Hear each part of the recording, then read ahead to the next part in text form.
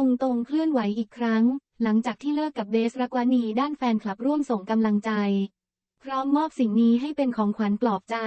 เรียกว่าเป็นการยุติความสัมพันธ์ จนเป็นข่าวร้อนสนั่นวงการบันเทิงสำหรับอดีตคู่รักเบสรักวานีคำสิงและตรงตรงกฤษกรกนกทรโดยทางเบส ได้ออกมาพูดเกี่ยวกับประเด็นรักร้าวครั้งนี้ว่า เลิกกันในช่วงสงกรานที่ผ่านมา ตอนนี้หัวใจโอเคดี หลังจากที่พ่อเบสท์ออกมาแฉฝ่ายชายตนก็ได้คุยกันอยู่ตลอดตอนที่มีปัญหา อีกฝ่ายก็รู้ปัญหาทุกอย่างอยู่แล้ว พ่อกับแม่ก็รู้และจนถึงตอนนี้ทางด้านหนุ่มตงตง ก็ยังไม่ได้ออกมาชี้แจงหรือตอบคำถามประเด็นเรื่องจบความสัมพันธ์รักกับสาวเบสท์แต่อย่างใด ชาวเน็ตถล่มคอมเมนต์ตงตงหายหน้าไปไหน และเป็นเวลาเกือบสองเดือนที่ตงตงกฤษกรหายหน้าหายตาไปจากโลกโซเชียลและงานอีเวนต์ต่างๆ หลังจากเลิกรากับอดีตแฟนสาวเบสท์รักษ์วนีย์ไปได้สักพักหนึ่งแล้ว โดยโพสต์ล่าสุดเมื่อต้นเดือนเมษายน ในอินสตาแกรมของเจ้าตัวเป็นคลิปที่หนุ่มตงตง ได้ออกมาเผยเคล็ดลับการดูแลสุขภาพผิว โดยมีคอมเมนต์จากชาวเน็ตและแฟนๆ มากกว่า 600 คอมเมนต์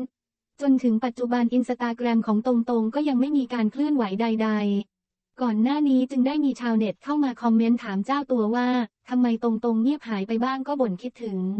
แต่บางส่วนก็เตรียมถล่มพระเอกหนุ่มต่อไป ตงตงออกงานครั้งแรก และวันที่ 6 มิถุนายนตงตง ได้เคลื่อนไหวแล้ว โดยเจ้าตัวได้ออกงานเป็นครั้งแรก ซึ่งเป็นงานอีเวนท์ที่จัดขึ้นที่ห้างสรรพสินค้า เดอะมอลล์โคราชชั้นหนึ่งแกรนด์ฮอลล์จังหวัดนครราชสีมา หลังจากที่เจ้าตัวหายหน้าหายตาไปนาน จนแฟนคลับต่างก็คิดถึง จึงได้รวมตัวกันมาให้กำลังใจ ตงตงในการออกงานครั้งแรกในรอบเกือบสองเดือนที่ผ่านมากันอย่างล้นหลาม และหลังจบงานทางด้านตงตง ก็ได้มีการถ่ายภาพร่วมกับแฟนๆ และโพสต์ลงสตอรี่อินสตาแกรมพร้อมกับแคปชั่น ขอบคุณทุกคนมากๆกลับกันดีๆนะครับ เดินทางปลอดภัยและอย่าลืมดูแลสุขภาพของตัวเอง แฟนคลับให้ลอตเตอรี่เป็นของปลอบใจ และนอกจากที่แฟนๆ จะตามมาให้กำลังใจ ตงตง ถึงหน้างานแล้ว แฟนคลับก็ได้ให้ของขวัญมากมาย เพื่อเป็นการ support ตงตง โดยของที่ตงตง ได้รับนั้นก็มีมากมาย ไม่ว่าจะเป็นช่อดอกไม้ ของแบรนด์เนมสุดหรูหรา อาหารและขนมขบเคี้ยว พระเครื่องเพื่อความเป็นมงคล อีกทั้งยังเงินสดจำนวนมหาศาลและลอตเตอรี่เลขงามอีกหลายใบ เรียกได้ว่า ตงตง คงได้กำลังใจจากแฟนๆ ในครั้งนี้อย่างเต็มเปี่ยมไปเลย